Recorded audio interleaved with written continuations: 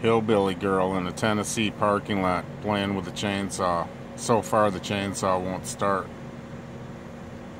This can't end good or well.